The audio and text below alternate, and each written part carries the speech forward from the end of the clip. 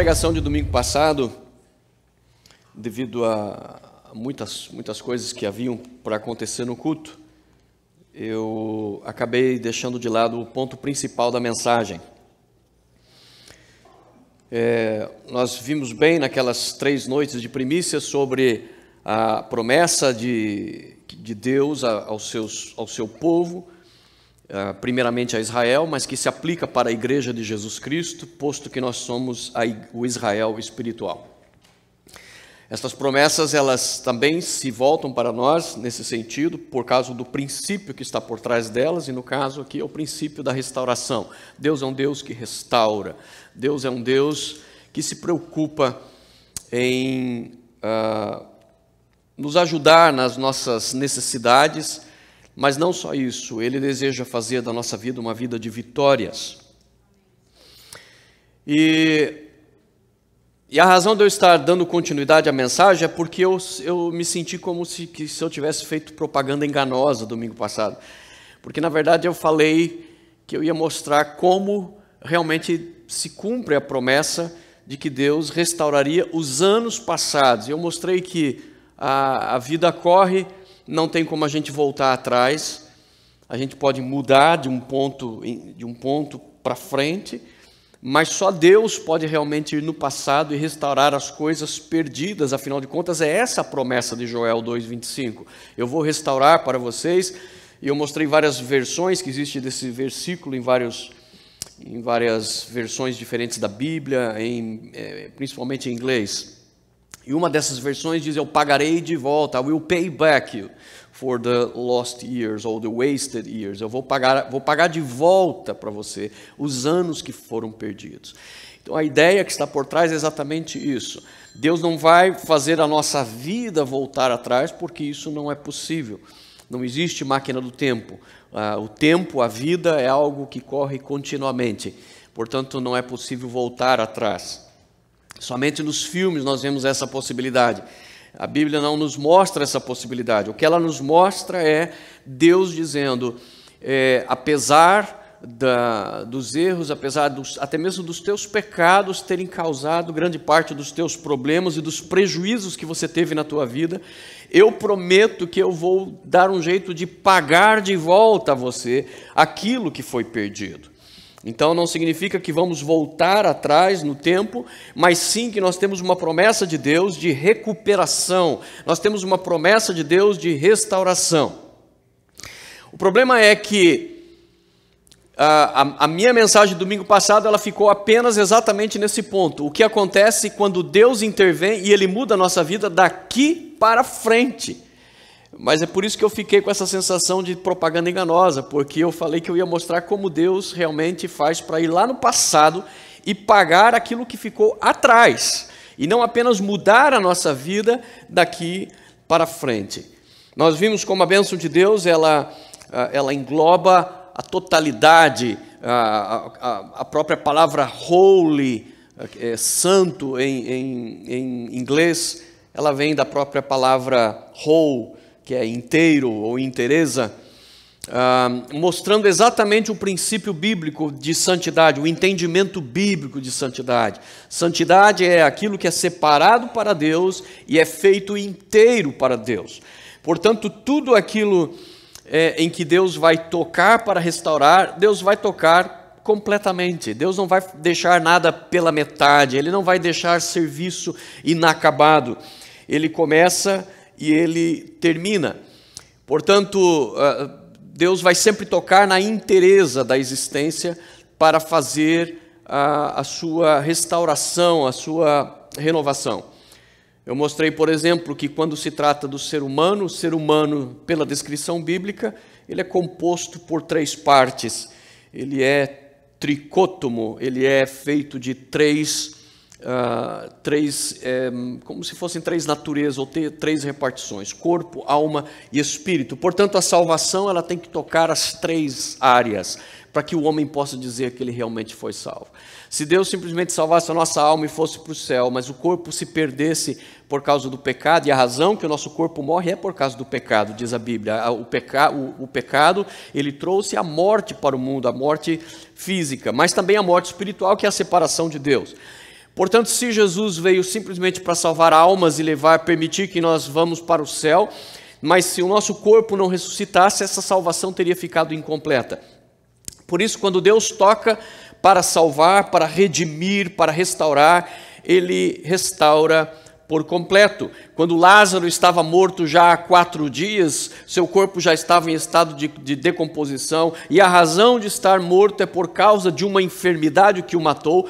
Quando Deus, quando Jesus o ressuscita, ele ressuscita com um corpo recomposto, ou seja, toda decomposição sofreu uma reversão seu corpo voltou ao seu estado normal, desapareceu o inchaço, desapareceu a, a, a, o mau cheiro, e não só isso, a Bíblia não diz, mas eu creio piamente que Lázaro ressuscitou curado da enfermidade que o matou. Porque não faz sentido Jesus ressuscitar um morto, mas ele voltar enfermo da maneira como ele estava. Portanto, se Jesus faz o trabalho, ele faz bem feito ele faz completo. Mas tudo isso, como eu já disse, mostra apenas o ponto em que Deus entra na história e toca a nossa história e muda daqui para frente. Mas nós não vemos Deus voltando lá atrás, como é a promessa. E para nós entendermos isso, a gente precisa de novo voltar lá para o tempo do Velho Testamento, voltar mais de mil e poucos anos antes do tempo de Joel no tempo do Êxodo, para lembrarmos de alguns episódios que deveriam nos colocar um ponto de interrogação e às vezes a gente passa batido. A gente não presta atenção em detalhes. Porque nós sabemos que Israel, a, a história do Êxodo é a história de uma enorme, um enorme processo de redenção onde o Senhor restaura uma nação inteira. Ele tira uma nação que por 430 anos ficou subjugada ao poder do, do Império Egípcio e é, escravizada por 430 anos. Eles eram pobres, eles eram pessoas sem posse, suas posses se reduziam a, no máximo, a algumas, alguns bodes, algumas vacas para gerar um pouco de alimento para que eles pudessem se sustentar no sofrimento da escravidão. Entretanto, a Bíblia mostra toda aquela história que nós conhecemos, poderosa, belíssima, aonde o Senhor vai e visita aquele povo e o retira do Egito através de uma série de milagres, de uma série de intervenções. E aquele povo que por, pelos últimos 430 anos foi escravo, eles então se encontram finalmente livres no, no, ápice daquele livramento, quando Deus abre o mar vermelho, eles passam, Faraó resolve ir atrás com seus cavaleiros, com seu exército, para ir tentar desafiar a Deus e tentar matar e destruir aquele povo. E finalmente Deus fecha o mar sobre o exército egípcio, e ali se encerra de uma vez por todas a história de relação entre Israel e o Egito nos tempos antigos. A partir de então, a história vai mostrar que pelos próximos 40 anos, Israel, do lado de lá do Mar Vermelho, na península conhecida hoje como Península do Sinai, eles vão peregrinar ali por 40 anos naquele deserto, aquela região quase toda desértica, e ali eles vão ah, ter algumas grandes experiências com Deus. Eles vão se tornar um exército forte, vão ser treinados, eles eram totalmente sem estrutura, não tinha estru, é, estrutura de governo, não tinha estrutura religiosa, não tinha estrutura de exército. E nesses 40 anos eles vão formar toda essa estrutura, eles vão começar a, a, receber do Senhor as instruções para formar uma nação, eles vão formar um exército que vai ser treinado no deserto, porque só porque é deserto não significa que não tem gente que mora lá. E por causa de existir muita gente no deserto, Israel teve que enfrentar muitas guerras nesses 40 anos. Portanto, Israel é treinado. Mas o fato é que antes deles começarem essa organização toda, a primeira coisa que Deus organiza é a parte religiosa, a parte do culto. Como Israel deve se aproximar de Deus para adorar, para buscar a Deus e para se relacionar com Ele. Portanto, já no, nos primeiros dias, nos primeiros meses, nos primeiros anos desses 40 anos, o que Israel vai lidar é com a instrução que Deus dá de construir um altar construíram, na verdade, um local de culto conhecido como tabernáculo. como eles estavam em transição constante no deserto, este, este local de adoração tinha que ser desmontável, tinha que ser portátil. Por isso, Deus faz ali o, o desenho de um tabernáculo, uma tenda, aonde ela é instruída por Deus com riqueza de detalhes tanto quanto aos materiais que deveriam ser usados, como os objetos que deveriam fazer parte do tabernáculo. E tudo aquilo ali era um simbolismo para que o povo começasse a entender como funciona o relacionamento do ser humano com Deus. Mas aqui é um ponto que eu quero chegar. O fato é que para construir isso, lembre-se, eles estão agora onde? No deserto. Eles não estão mais no Egito, eles não podiam ir no mercado comprar coisa alguma, eles não podiam ir procurar alguma loja. Quando Deus tem uma ideia de construir um tabernáculo no meio do deserto, para você construir você precisa de material.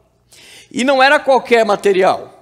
Deus exigiu vários tipos de materiais, que iam desde, desde peles de animais que haveriam de cobrir a tenda, é, tecidos de linho que iriam fazer parte das paredes, a, a, é, colunas de bronze que deveriam fazer a sustentação da, da, da tenda, é, haveria vários objetos de prata e vários objetos de ouro.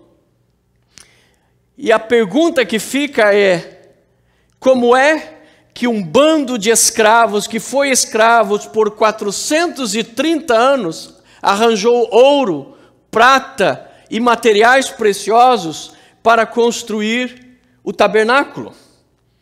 E a Bíblia diz que realmente veio da doação dos próprios israelitas. Vá lá comigo em Êxodo capítulo 25.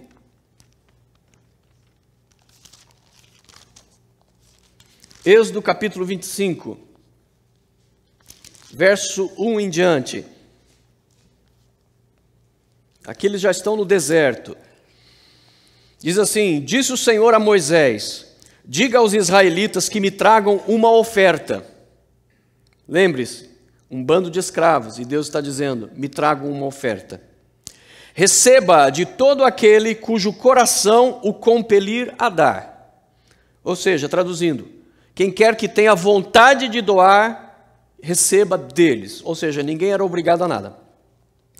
Estas são as ofertas que deverão receber deles.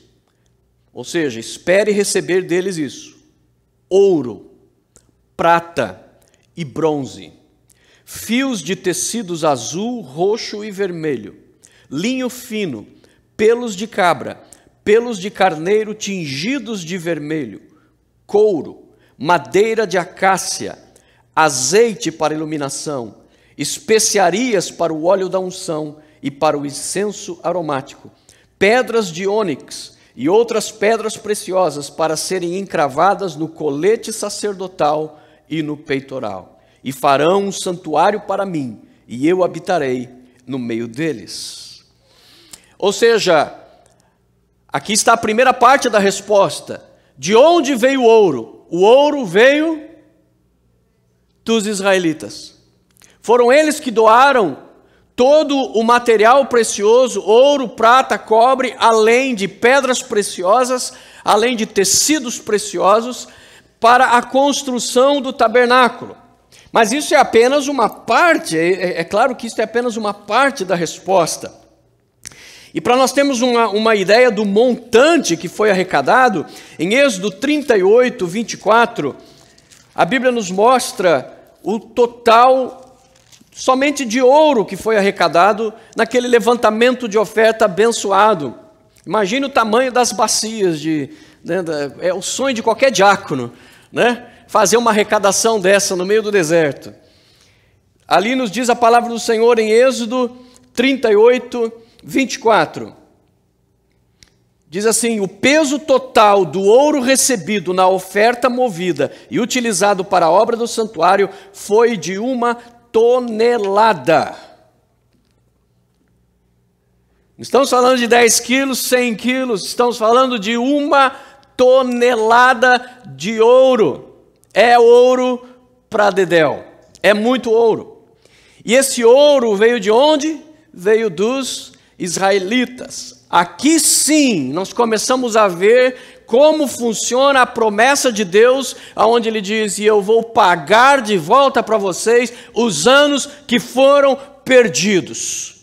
Se você tivesse sido escravo numa nação por 430 anos, lembrando que nessa época, a Bíblia fala de pessoas que viveram até 700, até 900 anos de idade, mas isso foi lá no Gênesis, isso lá nos, nos primeiros milênios. Quando chega no tempo de Moisés, Moisés é quem compôs o Salmo 90 e o Salmo 90, Moisés já diz, ele fala assim: é, é, o que é o homem para que o Senhor se lembre dele? O que é o filho do homem para que o Senhor visite? É, o, o, homem, é, é, se ele tiver uma boa força física, é, os seus anos serão 70 anos mais ou menos. Se passar, o que passar disso já é canseira e, e enfado, boredom, né? Você vai vai estar tá chateado. Viver para quê? Já ah, já vivi tanto tempo, não quero saber de mais nada. É, é dor, é, é, artrite, artrose, é, é, é, é bursite, é, é tu, todas as ites possíveis e um pouco mais. E, ou seja, Moisés já está dizendo que no tempo dele a expectativa de vida era 70 anos, o que passasse disso já era uma vida bem, é, é, com uma, uma grande deterioração da saúde física. Ainda que Moisés tenha vivido 120 anos, mas com esse salmo ele mostra que a expectativa de vida não era mais essa. Portanto, é evidente que em 430 anos de escravidão, não existia ninguém que tinha passado por toda aquela escravidão. Ou seja, nós estamos falando ali já de várias gerações que nasceram, viveram e morreram como escravos nasceram, viveram e morreram esperando uma redenção. Nasceram, viveram e morreram debaixo do chicote, trabalhando sem receber nenhum pagamento. Geração após geração, 430 anos, é tempo para chuchu. Quando, quando Israel entra ali no Egito eram 70 pessoas, quando sai são mais de 2 milhões. E 2 milhões porque um monte de crianças, um monte de meninos tinha sido assassinados na, na, na geração de Moisés, senão era para ter muito mais. É quase que o tempo de, do descobrimento do Brasil até o dia de hoje. O Brasil hoje tem, tem é, cerca de 200 milhões de pessoas. Na verdade, os judeus até que foram tranquilinhos, né? Eu acho que o cansaço do, do, trabalho da escravidão não deixava eles muito animados à noite, por isso eles só se multiplicaram e ficaram em 2 milhões durante aqueles quase 500 anos. Mas o ponto que eu estou querendo mostrar é: muita gente morreu na esperança de que o Deus de Abraão, de Isaac e Jacó um dia iria trazer a redenção, e do ponto de vista da existência deles, essa redenção nunca veio. Morreram, quem sabe no, com o meu filho. O filho também nasceu, cresceu, morreu e não viu. Talvez no meu neto, o neto também nasceu, cresceu, morreu e não viu a redenção. Até que um dia, finalmente completados 430 anos, Deus levanta Moisés, conhecemos a história. Deus diz: Vai lá para o Egito, Moisés, porque eu tenho escutado o clamor do meu povo. Mas aqui está a grande novidade é o ponto de conexão dessas duas histórias com Joel 2,25, onde Deus diz: Eu pagarei de volta os anos que foram perdidos. 430 anos de escravidão é o que nós podemos chamar de anos perdidos. São anos onde você não juntou nada, não economizou nada, seus filhos e netos, é normal nas gerações você ter uma geração é, mais sem recursos, geralmente lavradores, aonde o, o filho é, já, pode, poder, já pode ir para uma faculdade, talvez, ser um doutor, e lá pela terceira ou quarta geração, um deles já pode ser até, quem sabe, um governador, um presidente.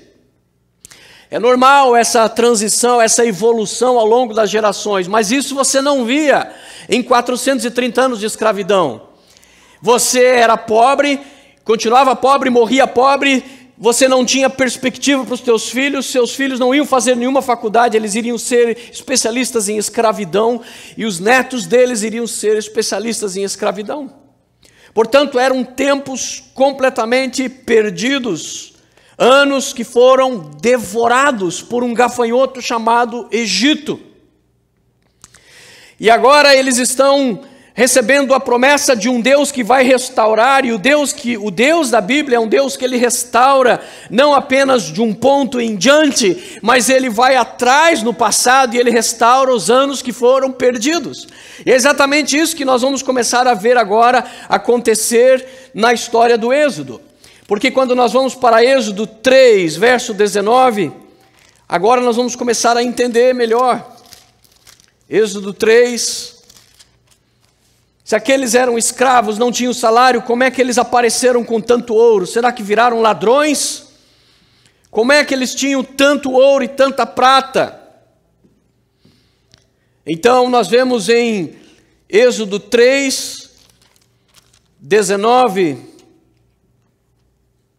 a 22. Deus disse assim para Moisés, quando ele ainda estava, esse momento aqui é o momento em que ele está diante da sarça ardente, aquele arbusto que pegava fogo, o que não era incomum, até arbustos terem combustão espontânea devido ao calor daquele lugar. Mas o que chamou a atenção de Moisés não era o arbusto pegando fogo, era que o arbusto queimava, mas não se consumia. Tinha fogo, mas o arbusto continuava inteiro. E quando ele se aproxima para ver que o que raio era aquilo? De repente vem a voz de Deus dizendo: opa, opa, opa, tira a sandália dos pés, porque agora você está pisando em território santo. E ali Deus fala: agora você vai ser o redentor do meu povo, porque eu tenho ouvido o clamor dele. Eu vou usar você, mas eu serei o libertador.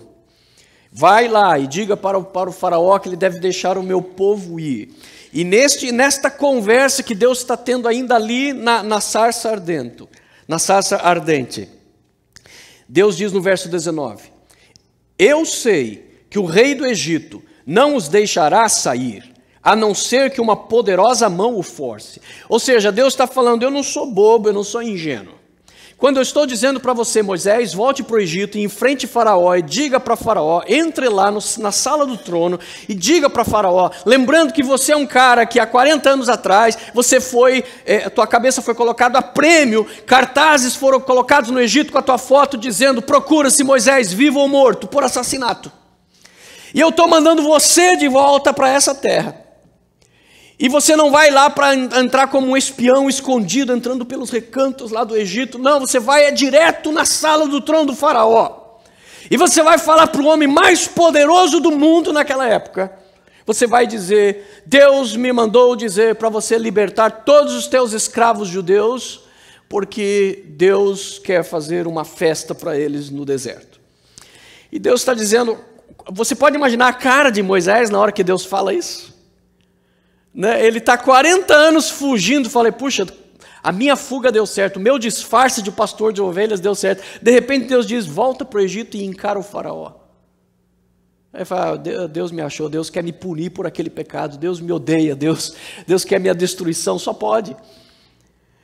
E eu acho que no mesmo instante Deus vê a cara de Moisés, né? ele está todo sorridente, oh Deus, oh Deus, vai, né, eu vou salvar o meu povo, mas você vai, vai falar com o faraó. Ele, ah, o sorriso desaparece da cara de dá, dá uma cara de espanto, de medo, de tremedeira.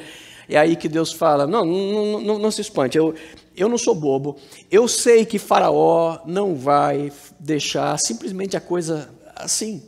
Ele não vai fazer a coisa fácil para você, Moisés. Eu sei. Esse, esse cara tem, tem estado no controle, e o pai dele estava no controle, e o avô dele estava no controle, e, e, e são gerações de faraós, aonde eles têm usado esse povo como sua força de obra, de graça gratuita, para construir as riquezas do Egito. Você acha que eles vão, você acha que realmente o Faraó vai entregar assim, de mão beijada? É claro que não. Ele diz: Eu sei que o Faraó, o rei do Egito, não vai deixar sair, a não ser que uma mão poderosa o force. Por isso, estenderei a minha mão e ferirei os egípcios com todas as maravilhas que realizarei no meio deles. E depois disso, ele os deixará ir. Ah, vai deixar vocês ir embora, eu te garanto isso, Moisés. Eu vou fazer o meu plano sobre o Egito, eu vou fazer uma algazarra naquele lugar, que com certeza no final o Faraó vai deixar vocês ir. Mas olha só, O resgate continua. Se Deus tivesse parado aqui, continuaríamos numa bênção que já é maravilhosa. Deus entra, muda nossa história, daqui para frente a nossa história nunca mais é a mesma. Já poderíamos dar glórias a Deus para o resto da vida e por toda a eternidade. Deus entrou na minha vida e mudou. Mas Deus não para aqui. Deus fala, é isso que eu vou fazer. Mas aí ele continua e diz assim no versículo 21: Eu vou fazer com que os egípcios tenham boa vontade para com o povo, o povo judeu. De modo que quando vocês saírem do Egito, não sairão de mãos vazias. Todas as israelitas vão bater na porta das suas vizinhas egípcias. E as mulheres que estiverem hospedando em casa objetos de prata, de ouro, roupas que vocês porão em, em seus filhos e em suas filhas, assim vocês despojarão os egípcios. Está aqui o segredo. É assim que Deus mostra como ele reverte anos desperdiçados. Ele diz: por 430 anos, esta geração trabalhou de graça para os egípcios. Por 430 anos vocês foram humilhados, pisados, assassinados. Os, os pais de vocês, os avós, os, os, os bisavós, tataravós de vocês morreram sem receber um centavo de pagamento duríssimo por 430 anos de trabalho. Isso não vai ficar assim. Eu vou fazer com que vocês não somente saiam do Egito, mas que os egípcios paguem vocês pelos 430 anos de escravidão. Eu vou fazer, eu vou tocar no, no, no, na vida e no coração dos egípcios, e vocês vão bater na porta deles e vão dizer: Por acaso você tem alguma peça de ouro aí para me dar? Você já, sabe, sabe aquele, já viu aqueles catador de lixo que batia na sua porta? No Brasil tem muito disso, né? Ô dona, né? Aí você, pois não, já tem uma lata velha, plástico velho, né? Plástico, né? Plástico, né? Ele fala plástico. Tem plástico velho aí, lata velha, qualquer coisa velha, né? Aí você tem um monte de lixo, fala, lixo, é claro, é, pode levar. Agora, já imaginou um cara desse, um catador de ouro, chegar na tua casa assim? Ô dona, será que você tem uma peça de ouro aí para me doar? Será que você tem uma peça de linho caríssimo aí para me entregar?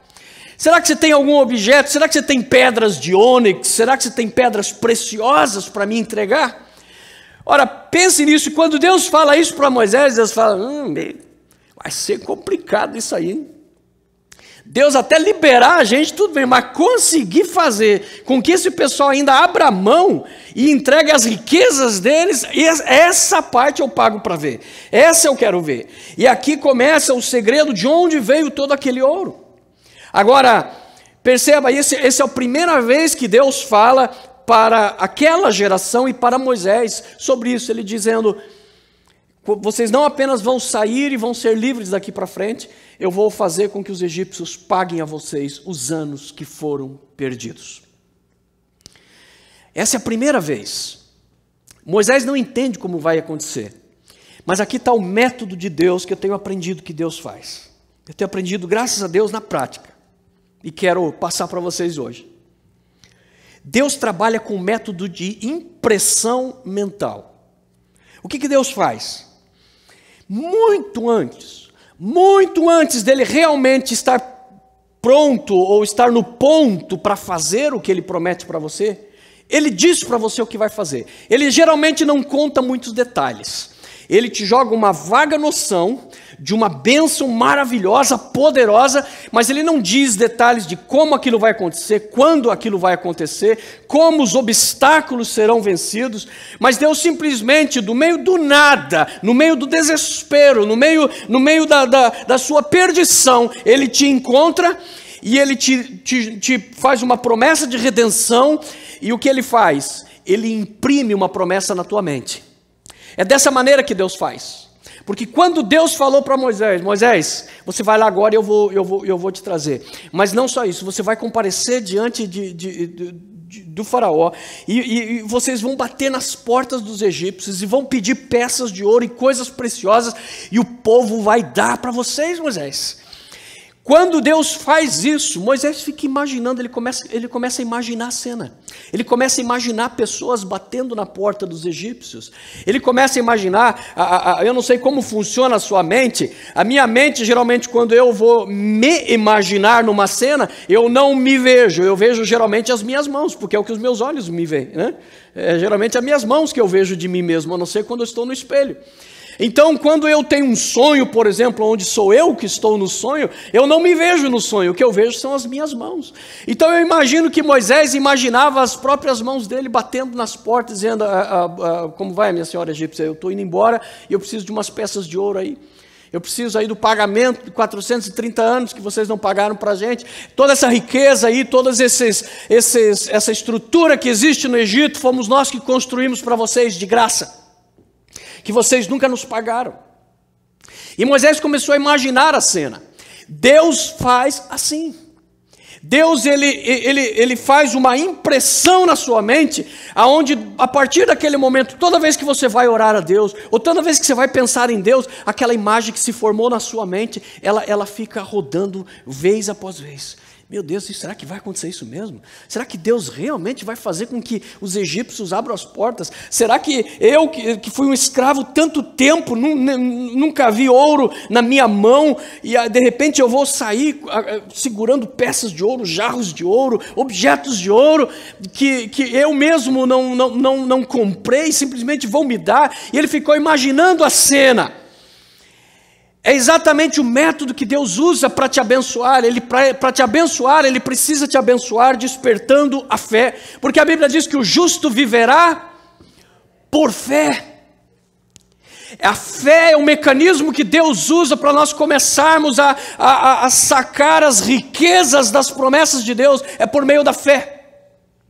Portanto, Deus precisa imprimir na nossa mente a promessa, e é isso que Deus faz. Olha só, com Abraão, como é que foi? Ele chama Abraão, o velhinho, ele chama, ele está lá, visita ele dentro da, dentro da tenda, ele está dentro da tenda dele, Deus chega assim, ô Abraão, sai para fora um pouquinho. E ele sai, é aquela, é de noite, ele está de noite no meio do, do deserto. Não é que nem na Flórida, onde a gente vê meia dúzia de estrelas. Você no deserto, meia, é, é, de noite, você vê aquele céu é, com aquelas constelações maravilhosas, aquilo forrado de estrelas. E Deus disse para Abraão: Abraão, vem aqui fora um tiquinho. E quando Abraão sai para fora, ele fala assim: Olha para as estrelas do céu. O velhinho olha, fala agora: Olhe para a areia do deserto. Ele olha. Sou? É isso eu vejo todo dia, Senhor, toda noite. Aí Deus fala assim: Assim será a tua descendência tão numerosa como as estrelas do céu e como os grãos de areia do deserto. O que Deus fez? O que Deus acabou de fazer? Imprimiu uma imagem na mente de Abraão. A partir dali ele fala: oh, que maravilha, que maravilha. Uh, mas Deus esqueceu do detalhe: minha mulher não pode ter filho.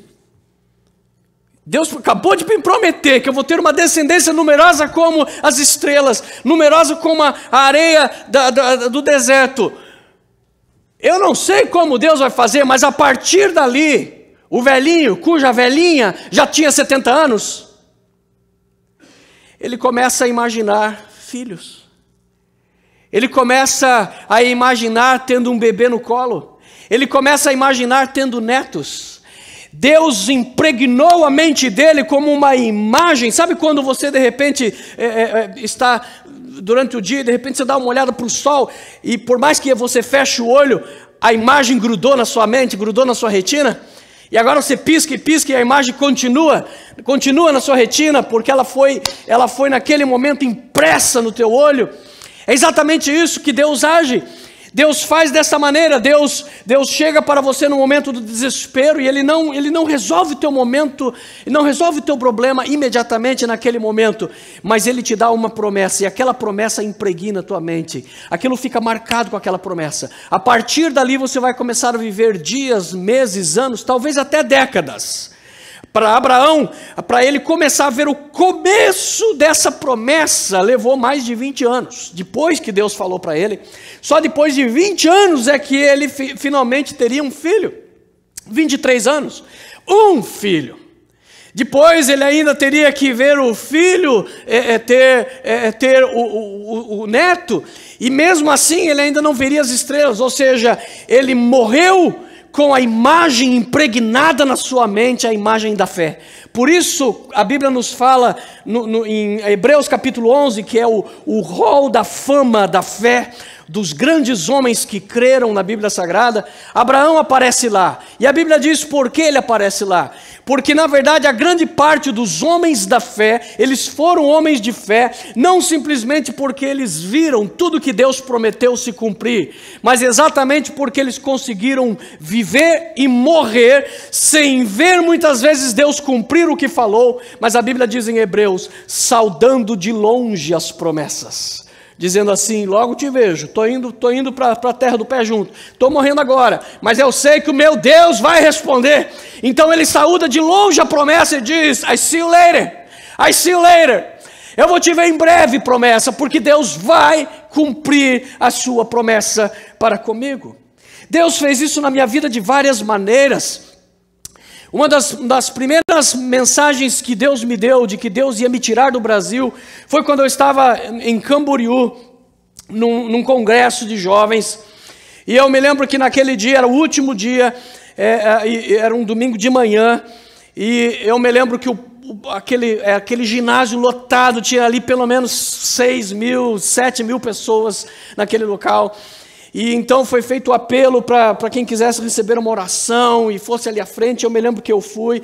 E eu me lembro que o palco estava assim desse lado, eu fiquei deste lado aqui, perto das caixas de som.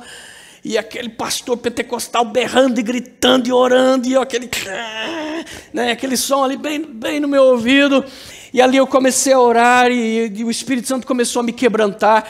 Naquele momento que eu estava orando, eu tive a visão que eu falei de vocês de mim. Eu vi o meu braço.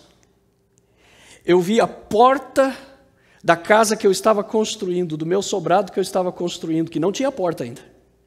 Eu vi a porta de madeira, o trinco, um trinco bonito assim de bronze, e eu vi a minha mão pegando no trinco para abrir o trinco. No momento em que eu tive essa visão, Deus falou comigo. Deus disse muito claro comigo. Deus disse assim: você está investindo muito tempo e dinheiro na construção dessa casa, e o teu coração está aí. E se quando você ainda não, não tiver nem terminado a casa, estiver para terminá-la, se eu te chamar para ir para outro lugar, você vai? Eu comecei a chorar naquele momento, eu disse, Senhor, eu vou. Eu vou. Naquele momento, Deus impregnou a minha mente. A partir dali, todos os dias, nas minhas orações, eu, eu, aquela imagem ficava, né? aquela, aquele braço, aquela, a, aquela, aquela fechadura abrindo, e aquela mensagem. Pode ser que Deus me chame e eu não vou chegar a ver o meu sobrado terminado. Eu não vou chegar a ver o meu sobrado terminado. Eu não me lembro quantos anos depois disso. Deve ter sido mais ou menos uns cinco, seis anos depois disso. Eu estava saindo da minha casa pela última vez para entrar no meu carro para ir para o aeroporto Afonso Pena para pegar o avião para São Paulo para vir para Miami. Eu me lembro que eu fechei aquela porta, virei as costas, entrei no carro e não olhei para o retrovisor. Eu não quis dar a última olhada na minha casa porque eu sabia que naquele momento estava se cumprindo o que Deus tinha me falado anos atrás. Só que anos antes disso acontecer, Deus primeiro impregnou a minha mente. Outra maneira de impregnar a minha mente foi quando uma pastora, a pastora Raquel Sus, ela chegou para mim e disse: Muitos anos antes de eu pensar em vir para os Estados Unidos, aliás, eu nunca pensava em vir para os Estados Unidos, eu queria vir para os Estados Unidos, mas nunca imaginei que isso pudesse acontecer. E muitos anos antes, ela chegou para mim e disse: Olha, eu tive uma visão com você. Eu vi você num púlpito, e nesse púlpito era uma igreja grande, e nessa igreja vocês cantavam hinos em espanhol, em português, e você falava em inglês. Muitos anos antes. O que Deus fez na minha mente? Ele impregnou a minha mente. E eu comecei a orar sobre essas coisas. comecei a buscar a Deus. Alguns domingos atrás eu estive pregando aqui na igreja americana. O pastor Tim me convidou e eu vim pregar. E eu contei esse mesmo testemunho. E eu disse: Sabe o que vocês estão testemunhando aqui hoje? Com, comigo pregando em inglês? Vocês estão testemunhando um sonho, uma visão que Deus impregnou na minha mente há muitos anos atrás e que se cumpriu. Deus impregnou a mente de Moisés e disse: Moisés, o meu povo, ele, eles vão abrir, é, é, é, eles vão bater na porta das pessoas e as pessoas vão dar tesouros para eles. Eu vou desta maneira pagar pelos 430 anos de escravidão que vocês estiveram. Mas isso foi só Moisés, Deus impregnando na mente de Moisés. Aí ele vai para o povo, vai contar para o povo. Aí ele viaja, sai lá do, do, deserto de Midian, vai até o Egito, vai ter o primeiro contato com o povo de, de Israel, vai dizer: Olha, eu sou Moisés, fulano de tal. Vocês devem ter ouvido falar de mim, eu era um príncipe aqui, mas acabei fugindo porque matei um cara. Deus me encontrou no deserto e me mandou vir para cá e trazer uma palavra para vocês e dizer que Deus vai libertar vocês. E mais do que isso, no capítulo 11, no versículo 1 a 3, agora ele passa isso para o povo. No primeiro encontro que ele tem, eles dizem: E Deus não só vai libertar, como Deus vai resgatar os anos que foram perdidos. E ele passou para o povo exatamente o que, o que Deus tinha falado para ele. Aquilo que Deus impregnou a mente de Moisés com a promessa, Deus agora impregna através de Moisés a mente do povo de Israel. E eles disseram, ele, ele disse para aquele povo: vocês vão bater quando vocês forem sair do Egito, na porta dos egípcios, e vão sair com ouro, prata e riquezas nos seus braços. Deus vai fazer isso. Agora era o povo, agora era aquele bando de escravos pensando isso. Eles nem sabiam que a coisa ainda ia piorar mas já estavam com a mensagem impregnada, é assim que Deus faz. Por isso que Deus se antecipa, Deus é esperto, Deus é um bom vendedor. Ele vai lá na frente, ele impregna a sua mente com uma imagem e aí ele sai. Ele não te diz que dali para frente você vai se ferrar. Ele não te diz que dali para frente você vai comer o pão que o diabo amassou mas ele já colocou a fé no seu coração por causa da imagem que ele colocou na sua mente. E é a imagem que ele colocou na sua mente que vai te dar força daqui para frente, quando você atravessar os vales, quando você atravessar os momentos difíceis. E é exatamente o que aconteceu com Israel. Eles disseram: Uau, que maravilha! Deus mandou esse Moisés, Moisés é o nosso libertador, e Deus falou que a gente vai sair daqui com riquezas. Vamos lá, Moisés vai enfrentar a primeira vez o Faraó, vai ser uma maravilha, vai ser é nocaute, é Deus, vai ser uma só. É Deus e Deus esmaga o Faraó, amanhã estamos livres. O Faraó, na primeira vez, já fala o quê? Vocês estão querendo é sair daqui sem, é, sem, sem me pagar nada? De jeito nenhum, vocês não vão. É a minha obra de mão barata, de, na verdade gratuita. Vocês não vão de jeito nenhum. Expulsou Moisés de lá. E daí ainda falou assim: Eu acho que esses judeus estão tendo muito tempo de sobra para ficar inventando história. Então eu vou fazer o seguinte, eu vou complicar a vida deles um pouco mais. Se eles achavam que era difícil, agora eles não só vão ter que fazer tijolos durante o dia, como agora eu não vou mais suprir a palha, porque eles tinham que misturar no barro para fazer o tijolo, para dar firmeza. Então ele diz agora, eles é que vão ter que trabalhar de dia fazendo tijolo e de noite eles vão ter que buscar palha eles mesmos. Vão trabalhar agora dia e noite. Que beleza, hein? Você com uma imagem na, na sua mente de você saindo rico, livre, e no fim agora a coisa piora para você. E é exatamente assim que acontece o 90% das vezes quando Deus nos dá uma promessa e você começa a orar e fala: Nossa, agora vai, agora vou arrebentar a boca do balão com Deus. E de repente você vê a coisa ficando pior. De repente você vê o diabo se levantando. De repente você vê que o Deus que prometeu parece que te abandonou de novo. E você fala: Mas o que, que foi que é isso? Deus Deus está querendo me matar do coração e a coisa fica difícil. Mas preste atenção: primeiro Deus fala para Moisés, impregna a mente dele. Depois Deus fala para o povo, impregna a mente daquele povo. Eles vão passar por situações. Agora, passados, passado um bom tempo, nove pragas já aconteceram. O Egito já virou uma destruição completa. É, é tumor para tudo quanto é lado, é desgraça, os gafanhotos já passaram por ali, os piolhos já passaram por ali, o Nilo já virou sangue, já virou uma desgraça a terra.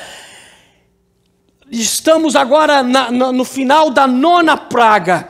Deus reúne Israel de novo, em, em Êxodo capítulo 12, e ele outra vez vai firmar a visão. Ele de novo diz agora: agora já não é mais um povo que só tinha uma promessa e não viu nada acontecer. Agora eles já viram Deus começar a agir, eles já viram Deus começar a forçar, eles já começaram a ver as maravilhas de Deus. E aí Deus se encontra com eles nesse ponto e fala de novo: não se esqueça, quando vocês forem sair daqui, batam nas casas dos egípcios, eles vão dar ouro e prata e riquezas para vocês. Ou seja, Deus está dizendo a mesma promessa que eu fiz, quando eu não mostrei a minha mão poderosa, é a mesma promessa que eu faço agora. Sabe o que isso significa, meu irmão? Significa que quando Deus fala alguma promessa, não importa se eu estou vendo ou não estou vendo qualquer coisa. Porque a mesma promessa que Deus fez primeiro para Moisés, depois para Israel, quando eles não tinham visto nada e a coisa ainda ia piorar, é o mesmo Deus que mostrou quando já tinha feito dez, quase dez, nove pragas no Egito e estava para lançar a décima, a pior, a praga dos primogênitos, a morte dos primogênitos. Ou seja, o mesmo Deus que promete, independente das circunstâncias, não é a circunstância que determina a nossa vitória, é a promessa que Deus nos deu. Então não interessa em que ponto você está. Não importa se você está naquele ponto onde tudo que você tem é um sonho. Não importa se você está no ponto onde, apesar de acreditar no sonho de Deus, a vida ficou ainda pior para você. Ou quem sabe você já está naquele ponto onde Deus já está se manifestando na tua vida e você já está começando a ver várias vitórias. Na verdade, em qualquer dessas circunstâncias, Deus era o mesmo, o amor de Deus era o mesmo e o poder de Deus era o mesmo. Portanto, continue a crer em qualquer das circunstâncias, porque nós não nos guiamos por vista, nós não nos guiamos por circunstâncias. O justo viverá por fé. E fé é a imagem que o Senhor impregna na nossa mente pelas suas promessas. Amém? Agora, se você achou que a benção já era grande, olha só, daí a gente pode voltar mais, mais ou menos, mais uns 600 anos no passado, e a gente vai para Gênesis 15. Gênesis 15. Aqui não existia nem a nação de Israel, aqui só existia Abraão. Em Gênesis 15 só existia Abraão. Ele ainda não tinha tido nem o primeiro filho e nem a promessa de Deus ainda da, da, de ver as estrelas do céu e as areias do deserto. Mas no versículo 13 e 14, Deus disse assim: Então o Senhor disse a Abraão: Saiba que os teus descendentes serão estrangeiros numa terra que não lhes pertencerá, e eles lá serão escravizados e oprimidos por quatrocentos anos. Mas eu castigarei a nação a quem eles servirão como escravos, e depois de tudo, eles sairão com muitos bens. Olha que coisa incrível. Na verdade, você pensa que Deus entrou na história de, de, de Moisés, tipo assim: ó oh, Deus, aí ó, olha, olha onde a gente se meteu, olha que problemão, e agora eu preciso que Deus resolva. E Deus tipo, nossa, puxa, não sabia que você estava assim, não, mas tudo bem, eu dou um jeito. E Deus resolve. Não, Deus mostra, na verdade, em Gênesis, que 600 anos antes de existir a nação de Israel, Deus já sabia tudinho o que ia acontecer. Deus já falou: vocês vão ser escravizados. Mas não se preocupe, porque depois de 400 anos, vocês vão ficar lá 400 anos, quatro séculos. E depois disso, eu vou fazer com que vocês saiam de lá ricos. Ou seja, antes até mesmo de um mal chegar e, a, e bater na nossa porta, Deus já sabe de tudo. Deus já tem o controle de tudo, Ele sabe, Ele tem o controle da história nas Suas mãos, e portanto, antes do mal existir sobre uma nação que nem existia ainda, Deus já estava prometendo o resgate, a restauração e a riqueza de uma nação que seria restaurada de uma escravidão que ainda não existia. Ou seja, Deus se antecipa em tudo e promete em tudo. Com isso, Deus está mostrando: vocês se desesperaram em 430 anos. Moisés, você se desesperou nos teus 80 anos de vida, Moisés. O povo dessa geração se desesperou e pensou: somos só mais uma geração de escravos. Continuaremos a ver a escravidão, e os meus filhos, os meus netos e bisnetos serão escravos. Entretanto, no meio dessa, dessa, desse desespero todo, dessa desilusão toda, Eu sempre fui o Senhor da história que sempre tive o controle de todas as coisas. Quando Deus promete, preste atenção, se Deus chegasse ali e restaurasse Israel e dissesse para Faraó, let my people go, e, e esmagasse Faraó e libertasse o povo, e dali para frente eles fossem não mais escravos, mas pudessem ter suas terras, e dali eles pudessem enriquecer e serem homens livres, já seria uma bênção tremenda. Mas preste atenção, Deus não estaria cumprindo a sua promessa com aqueles que já morreram, com aquelas gerações passadas. Quando Deus disse: Eu vou pagar, eu vou fazer os egípcios pagar com ouro, com prata e com riquezas, os 430 anos, Deus voltou no passado e Deus estava recompensando o Antônio, a Maria, o José, ele, estava, ele estava recompensando cada um daqueles judeus que trabalharam, viveram e morreram debaixo da opressão e que nunca receberam um centavo, mas os seus descendentes estavam saindo de lá ricos, os seus descendentes estavam recebendo pelo seu trabalho, ou seja, Deus recompensou a cada um dos judeus que trabalharam naqueles 430 anos. Isto é o poder de Deus voltando no passado e pagando de volta os anos perdidos. Amém?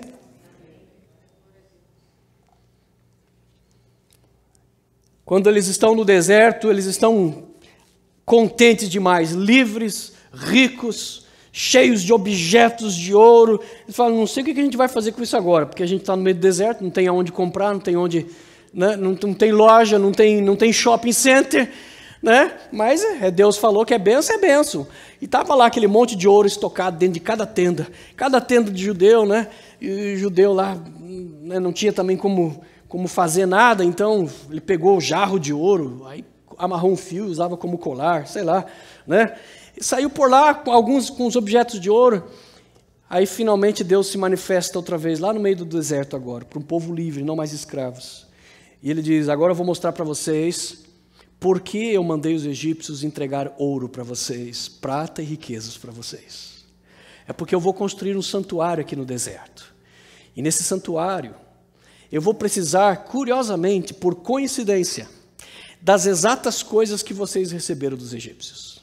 Os egípcios deram linho, que coincidência, eu preciso de linho para construir o tabernáculo. Eles te deram ouro, olha só outra coincidência.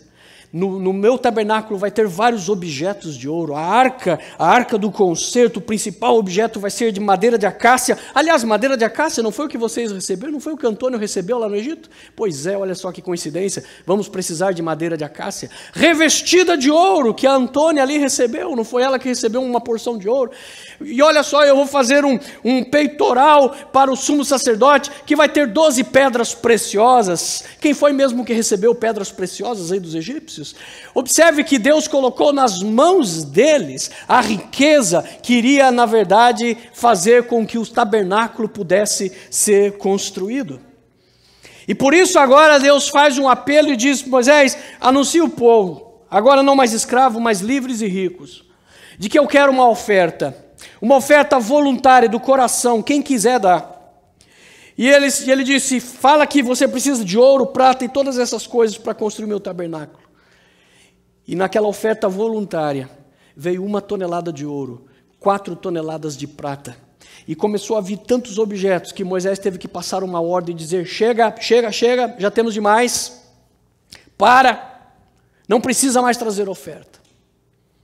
E o povo trouxe um monte de oferta, voluntárias, porque era o entendimento de que a riqueza que Deus pôs nas suas mãos, foi Deus o responsável por aquilo, portanto, Deus merece que eu retorne para Ele voluntariamente. Agora, com a prata foi diferente. A prata foi compulsória. A prata foi exigida. Deus disse: agora vai acontecer o seguinte: eu quero que cada um dos primogênitos de Israel me tragam é, 60 gramas de prata pela sua redenção. Sabe por quê? Pela sua redenção? Porque existe uma ordem nas Escrituras, como, e esse é o, é o fundo da festa das primícias, de que tudo que é para Deus tem que ser em primeiro lugar. Então, as primícias é o que? A primeira parte, antes de eu comer da, da, da minha colheita, primeiro eu entrego ao Senhor, as primícias. É o mesmo princípio do dízimo. O que é o dízimo? O dízimo é primícias. O dízimo é primícia numa base regular. Eu vou separar aquilo que é de Deus. Ah, pastor, mas você não entende. Se você soubesse da minha situação financeira, você não ia é, é, ensinar sobre dízimo, porque pastor nunca sobra. Como é que eu posso ser dizimista? Eu faço as contas e não sobra. Esse é o problema.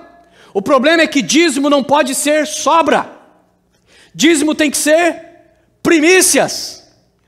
Ou seja, você não faz a conta primeiro e se sobrar você entrega o dízimo. Não, é o contrário. Primeiro eu separo aquilo que é do Senhor. E aí eu vejo a provisão de Deus sobre o restante. Aí eu posso provar a Deus, porque aí eu já entreguei a parte de Deus. Aí eu falo, Senhor, só que agora matemática é matemática. Eu fiz a soma, os 10% que eu tirei, está faltando aqui para pagar esse bill. Como é que fica agora? Aí vem a, o que Deus fala em Malaquias: entregue o seu dízimo como primeiro lugar, como primícias. E aí Deus diz: e então agora faça prova de mim. Agora você pode fazer prova de mim. Senhor, eu não sei de onde, porque meu salário já acabou. O dízimo eu já entreguei. E agora, Senhor? Bom, já que você foi fiel a Deus, agora é responsabilidade de Deus. Agora você pode provar a Deus, o próprio Deus, e dizer: Deus, agora te vira. Eu fiz o que o Senhor mandou e está faltando. O Senhor também não quer que eu seja mal pagador. O Senhor não quer que eu seja desonesto. Então o Senhor agora provê. E então você pode contar com a provisão de Deus, porque você não está dando o que sobra, você está dando o que é, é de Deus em primeiro lugar. O, o princípio do, da primogenitura, ou seja, do, do, do, primeiro que nascia, também era de Deus. Deus. Deus instituiu uma lei, está lá em Números 18, 16. Deus diz assim: é, todo primogênito nascido em Israel, de pessoas e de animais, pertence a mim. Ele disse: todo primeiro animal e todo primeiro filho que uma família tiver, que um casal tiver, ele pertence a mim. Por quê? Porque é o princípio da primogenitura, é o princípio das primícias. É o primeiro, então é meu. É o primeiro, então me pertence. Então, se você tinha, um, se você tinha uma ovelha, ela gerou outra ovelha, aquela primeira ovelha você tinha que entregar para Deus.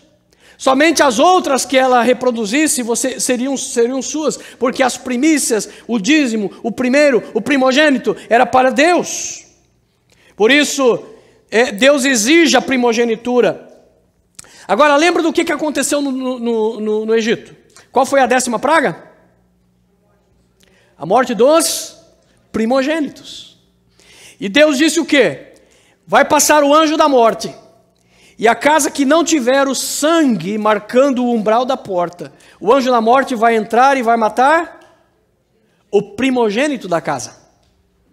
Mas ele disse: Mas sobre o meu povo vocês matem o cordeiro, peguem o sangue, coloquem no umbral da porta, representando o sacrifício de Jesus. E o anjo da morte vai ver o sangue e vai voltar. Ou seja, com isso, o primogênito que estava lá não foi vencido pelo anjo da morte mas preste atenção, ele agora está vivo, mas ele é primogênito. Só que todo primogênito pertence ao Senhor. Então o que, que Deus institui? Deus institui de que todos os primogênitos de Israel, para que eles não tenham que agora é, se oferecer, no caso, ser de Deus significava que ele teria que ser um sacerdote e viver somente para o serviço de Deus.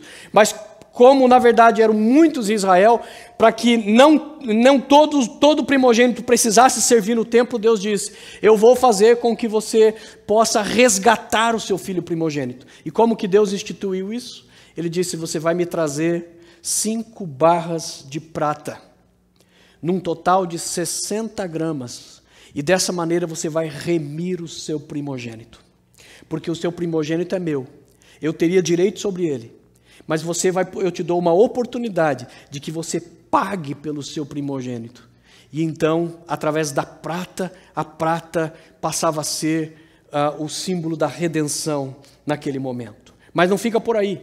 Todos os homens de Israel tinham que dar seis gramas de prata, porque também os homens de Israel, eles eram o cabeça das suas casas, eles representavam suas, sua, sua mulher e, su, e seus filhos. Portanto, Deus disse: cada homem de Israel também vai me trazer seis gramas de prata como sua redenção. E assim a prata ela começa a ter na, na Bíblia o simbolismo da redenção.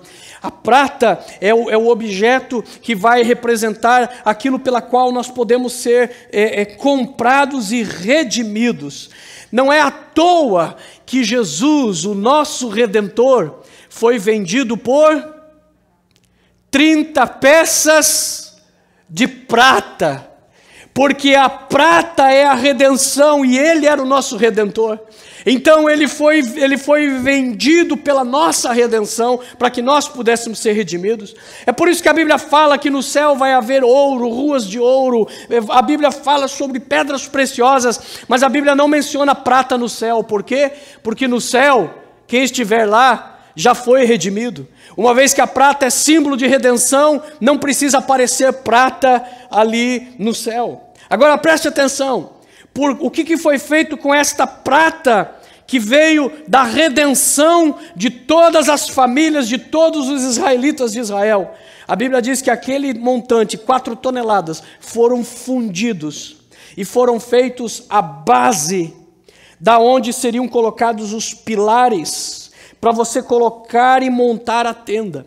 Ou seja, o preço da tua redenção se torna o fundamento de Deus para o local aonde você vai adorar a Deus. Ele se torna a base.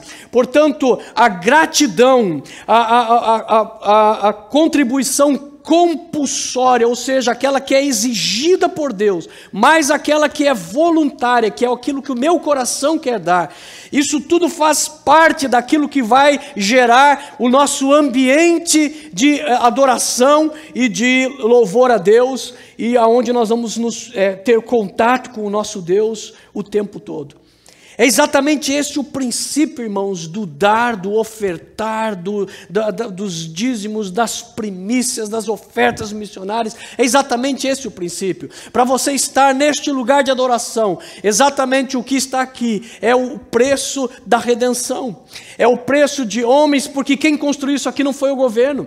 Quem construiu isso aqui não foi a, a, a, alguma empresa é, petrolífera ou de cigarros ou, ou a prefeitura de Hollywood.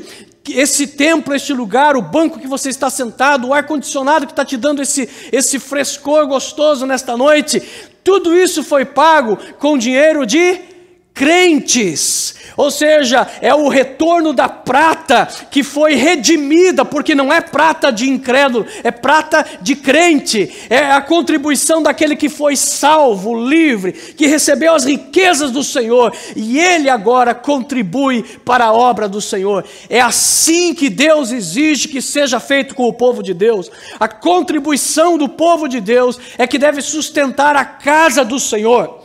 Nós podemos fazer como a Igreja Católica e sair por aí fazendo bingo, cobrando para fazer batismo, cobrando para fazer casamento, cobrando para fazer funeral. Só que, irmãos, nenhum desses métodos é o método que Deus escolheu. O método que Deus escolheu é esse: eu te tiro do império das trevas, eu enriqueço você, eu te dou a bênção, te dou o trabalho, te dou a saúde, te dou a inteligência, te dou aquele curso, aquele diploma que você precisa e você provê para minha casa. É dessa maneira que o teu dinheiro é santificado e a nossa oferta passa a ser agora um ato de adoração para Deus. Agora preste atenção, para terminarmos. Logo que eles saíram do Egito, Moisés foi chamado por Deus para ir no Monte Sinai. E ele foi lá e ficou 40 dias e 40 noites. O povo não sabia o que tinha acontecido com o velho. Morreu, foi arrebatado, ninguém mandava notícia, não tinha text message. O que aconteceu com o homem? E nesses 40 dias o povo começou, e agora? Ficamos sem líder, ficamos sem Deus, ficamos, o que a gente vai fazer? Precisamos de um Deus, precisamos de um Deus. Eles começaram a pressionar Arão, que era o sumo sacerdote. Nós precisamos de um Deus, faz um Deus para a gente aí. E eles fizeram e fundiram e construíram um bezerro de ouro e adoraram aquele bezerro. Com que ouro? Da onde veio esse ouro que construiu o bezerro? Do Egito. Veio do bolso de quem? dos israelitas. Ou seja, você pode usar a riqueza que Deus está pondo nas tuas mãos, os recursos que Deus está pondo nas tuas mãos, para construir uma idolatria para você mesmo. Eu vou usar o meu dinheiro para mim mesmo, para o meu próprio Deus, formado a minha imagem e a minha semelhança, do jeito que eu imagino. Eu vou usar o meu dinheiro para me comprar conforto e me dar somente aquilo que eu quero para mim, para minha família, etc, etc. Você pode fazer isso com a riqueza que Deus te deu, ou você pode construir o templo do Senhor. A escolha é sua. Mas Deus é um Deus que Ele pode voltar lá no passado e fazer com que você seja pago de volta pelos anos que foram perdidos.